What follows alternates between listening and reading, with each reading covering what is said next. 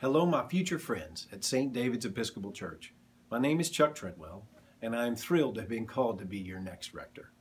I'm married to Chris, and we have three children Caleb, who is in college here in Waco, Colton, who is in college in Sewanee, Tennessee, and Caroline, who is in the ninth grade.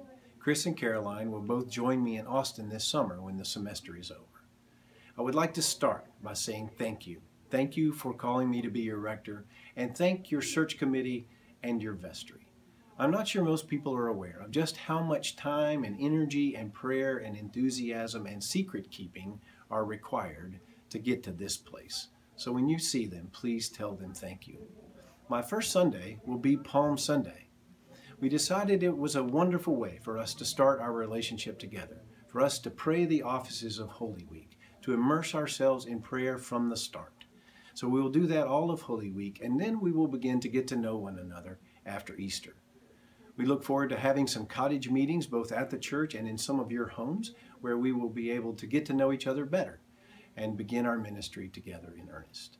I look forward to meeting you all, and I'll see you in March.